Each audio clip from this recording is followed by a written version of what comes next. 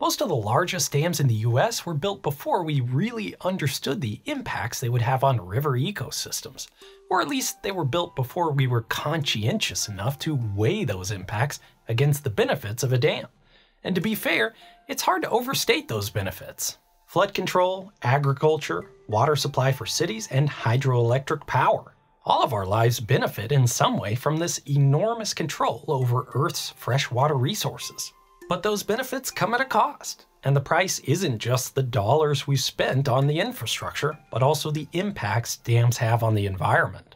So you have these two vastly important resources the control of water to the benefit of humanity, and aquatic ecosystems that we rely on. And in many ways, those two are in direct competition with each other. But even though most of these big dams were built decades ago, the ways we manage that struggle are constantly evolving as the science and engineering improve. This is a controversial issue with perspectives that run the gamut, and I don't think there's one right answer, but I do know that an informed opinion is better than an oblivious one. So I wanted to see for myself how we strike a balance between a dam's benefits and environmental impacts, and how that's changing over time. So I partnered up with the folks at the Pacific Northwest National Laboratory, or PNNL, in Washington State to learn more. Just to be clear, they didn't sponsor this video and had no control over its contents. They showed me so much, not just the incredible technology and research that goes on in the lab, but also how it's put into practice in real infrastructure in the field. Also, I could share it with you. I'm Brandon, this is Practical Engineering. On today's episode, talking about hydropower.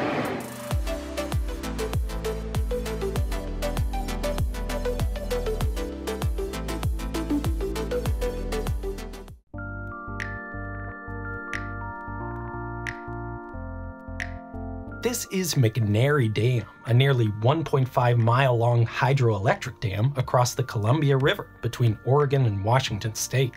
Just shy of 300 miles or 470 kilometers upriver from the Pacific Ocean. And this is Tim Roberts, the dam's operations project manager and the best dam tour guide I've ever met. These are one by four hand nailed forms that got built for the entire facility. But this was not just a little walkthrough. We went deep into every part of this facility to really understand how it works. McNary is one of the hydropower workhorses in the Columbia River system, a network of dams that provide electricity, irrigation water, flood control, and navigation to the region. It's equipped with 14 power generating turbines, and these behemoths can generate nearly a gigawatt of power combined. That means this single facility can very generally power more than half a million homes.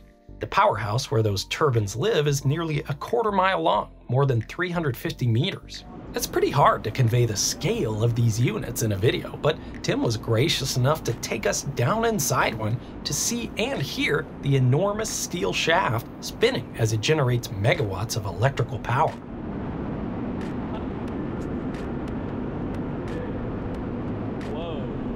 All that electricity flows out to the grid on these transmission lines to power the surrounding area. McNary is a run-of-the-river dam, meaning it doesn't maintain a large reservoir.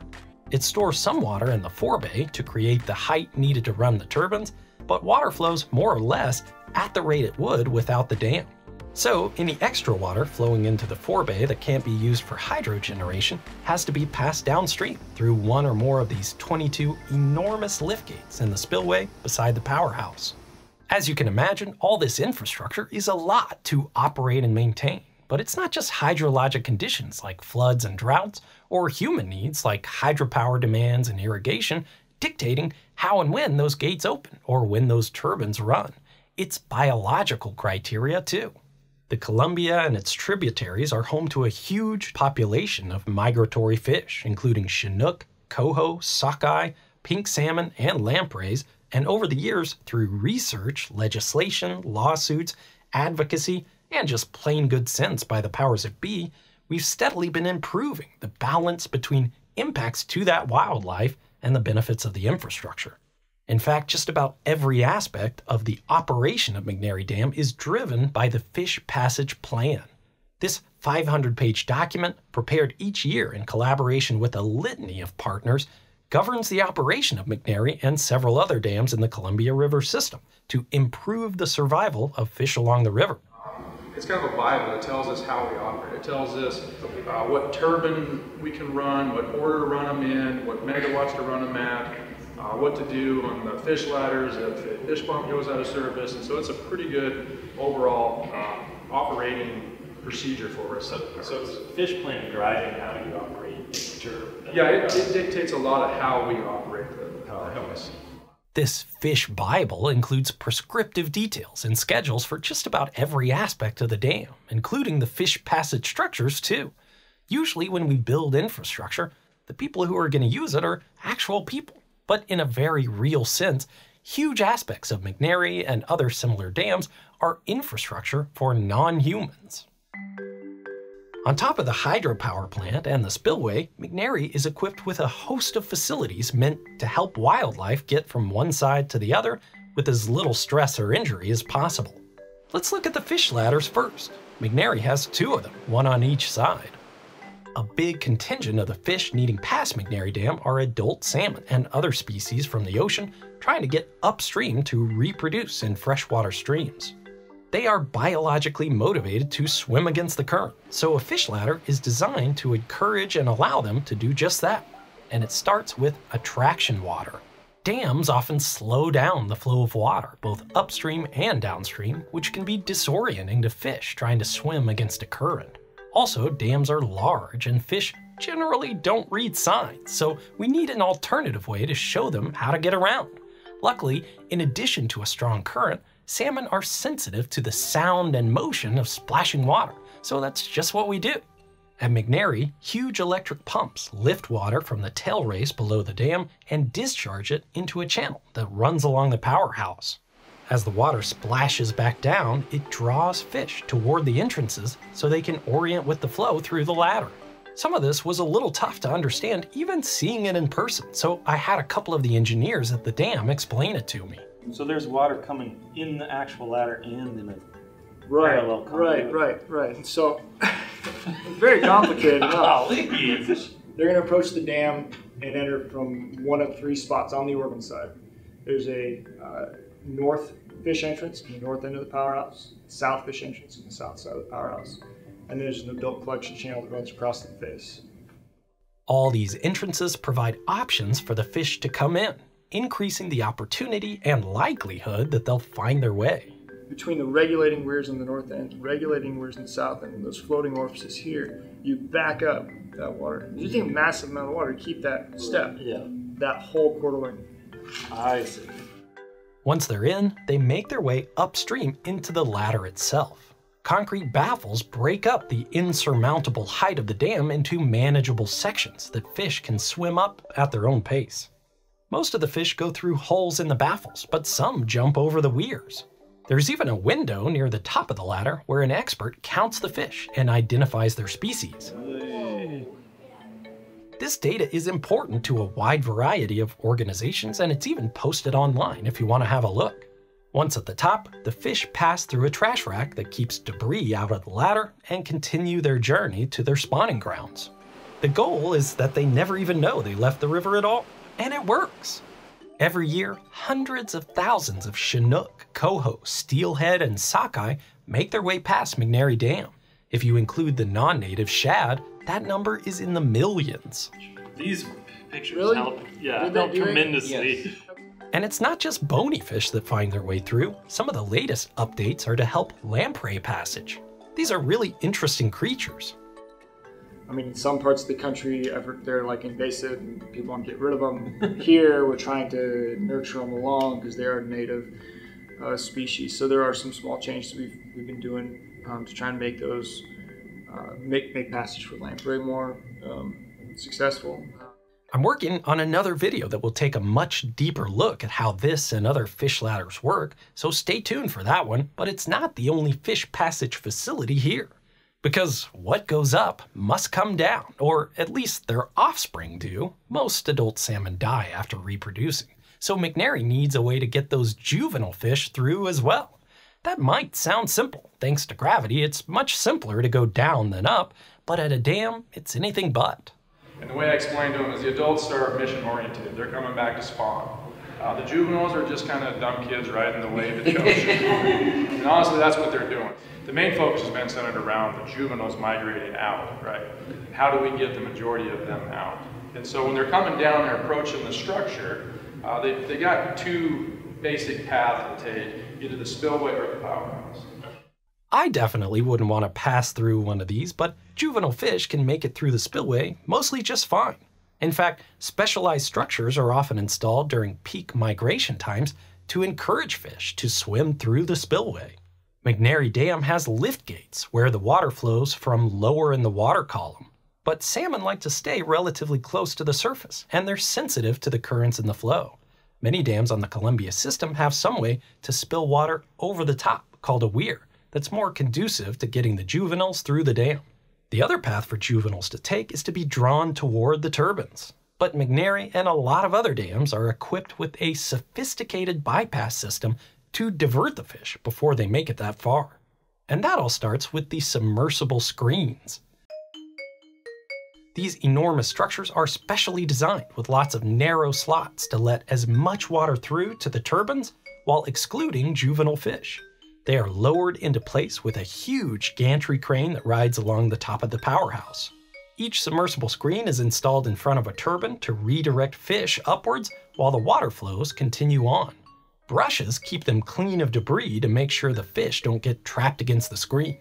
They might look simple, but even a basic screen like this requires a huge investment of resources and maintenance because they're absolutely critical to the operation of the dam incredibly labor intensive screens. We spend a lot of time because you like saw those brushes yeah. running up and down them. They've got submerged gearboxes, submerged motors, submerged electrical. Oh and yeah. So yeah, every December we pull them out, and for four months we work on fish screens.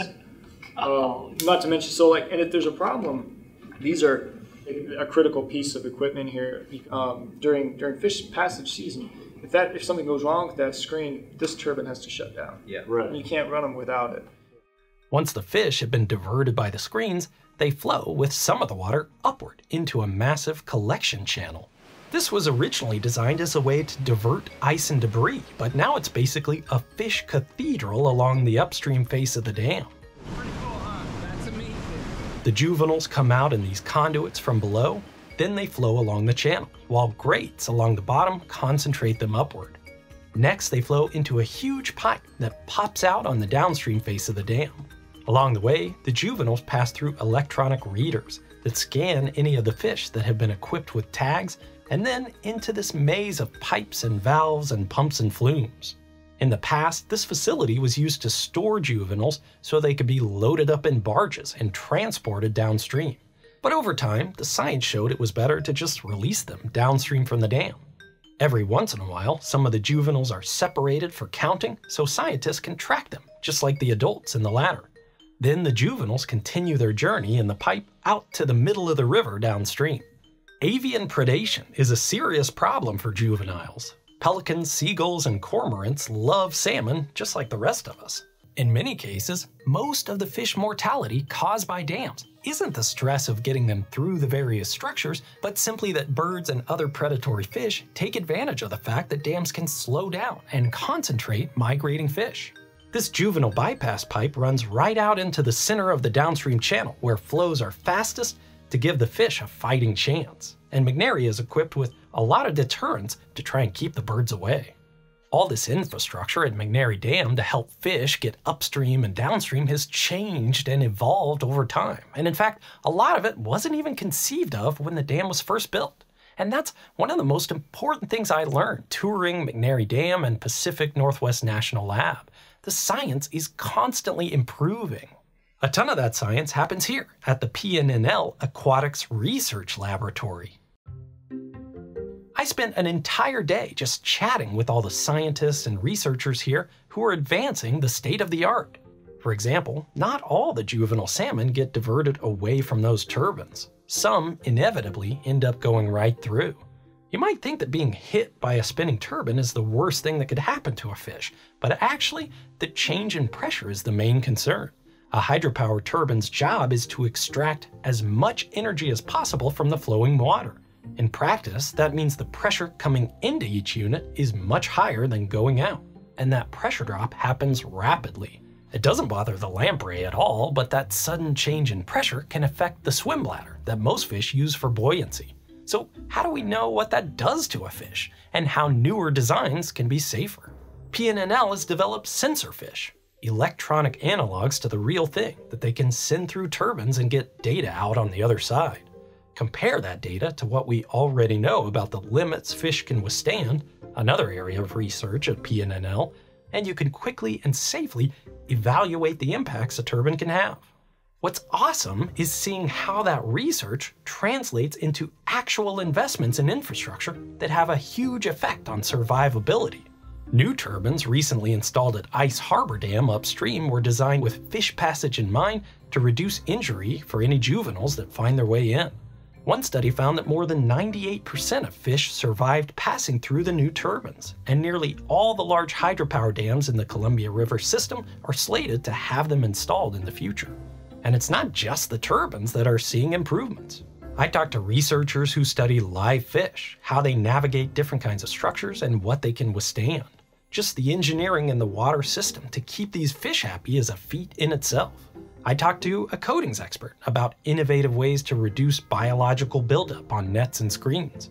I talked to an energy researcher about new ways to operate turbines to decrease impacts to fish from ramping them up and down in response to fluctuating grid demands. It doesn't have to be that, you know, what's good for the grid is necessarily bad for the fish. Exactly. And I spent a lot of time learning how we track and study the movement of fish as they interact with human made structures. Researchers at PNNL have developed a suite of sensors that can be implanted into fish for a variety of purposes. Some use acoustic signals picked up by nearby receivers that can precisely locate each fish, like underwater GPS. Of course, if you want to study fish behavior accurately, you need the fish to behave like they would naturally, so those sensors have to be tiny. PNNL has developed minuscule devices, so small I could barely make out the details. You also want to make sure that inserting the tags doesn't injure the fish, so researchers showed me how you do that and make sure they heal quickly. And of course, those acoustic tags require power, and tiny batteries, while extremely impressive in their own right, sometimes aren't enough for long term studies. So they've even come up with fish powered generators that can keep the tags running for much longer periods of time. A piezoelectric device creates power as the fish swims. And they had some fun ways to test them out, too. Of course, migratory fish aren't the only part of the environment impacted by hydropower, and with all the competing interests, I don't think we'll ever feel like the issue is fully solved. These are messy, muddy questions that take time, energy, and big investments in resources to get even the simplest answers. It's really it's a complicated question. It's not just that simple to look at it. If you want to look at overall survivability from point A to point B, you can do that. But you got to start talking about the species. Is it a spring? Is it a fall? Is it a chinook? Is it a steelhead? Because we have different models and studies that's been done, so it varies from species to species. People ask that question, I get really hesitant to respond because I'm like, you don't know how complicated a question you're asking. You want to simplify it into one little number, and it's not that simple. The salmon pink and blue paint in the powerhouse at McNary really sums it up well, with the blue symbolizing the water that drives the station, and the pink symbolizing the life within the water and its environmental, economic, and cultural significance. This kind of balancing act is really at the heart of what a lot of engineering is all about. I am so grateful for the opportunity to see and learn more about how energy researchers, biologists, ecologists, policy experts, regulators, activists, and engineers are collaborating to make sure we're being good stewards of the resources we depend on. I think Alison Colotelo, the hydropower program lead at PNNL, put it best. When you think about salmon and why we need to protect them, why we need to put all this money into understanding how do we how do we coexist uh, with our energy needs, it's because they're important from an ecological perspective, right? For the nutrients that they're bringing back, from an economic perspective, from a cultural perspective, and if the salmon go away, then so do a lot of other things. Yeah, right. Wow. My crew and I spent two full days in Washington talking to scientists and engineers about these complicated issues, and I probably learned more about biology in those two days than anything I happened to absorb in college, especially about how dams can isolate populations of fish if they aren't equipped with well designed passage systems like those at McNary. And there's a human equivalent to that too, that's really interesting, I think, because we found ways of living in super remote places, and the ways people and fish adapt to those situations have a lot of similarities. My friend Sam of the Wendover Productions channel has a video series called Extremities that's all about the most remote places on Earth and how and why people choose to settle them. I've watched all 15 episodes, they're so good, and if you want to check them out, they're available only on Nebula. You've probably heard of Nebula before. It's a streaming service built by a group of creators, including me, as a way to boost the resources and capabilities of independent creators. It's totally ad free, full of originals like Extremities, and there are no industry executives or big production houses deciding what projects live or die. That means people like Brian from Real Engineering, Scotty from Strange Parts, Integza, and a lot of others get to make the stuff they're passionate about without having to be so careful to please the YouTube algorithm or so shallow to capture a wider audience. You can think of it like an employee owned co op, a place to experiment with bigger projects, different formats, and extra content and perks from your favorite creators. My videos go live there early before they come out here, and my practical construction series wouldn't have been possible to make if not for the dedicated people watching on Nebula. I know there are a lot of streaming platforms out there right now, and no one wants another monthly cost to keep track of, but I also know that if you're watching a show like this to the end, there's a ton of other stuff on Nebula that you're gonna enjoy as well. So I've made it dead simple. Click the link below and you'll get 40% off an annual plan. That means you pay just one time, $30 for an entire year's access at nebula.tv slash practical engineering. That's less than $3 a month. If you're with me that independent creators are the future of great video, I hope you'll consider subscribing. Thank you for watching, and let me know what you think.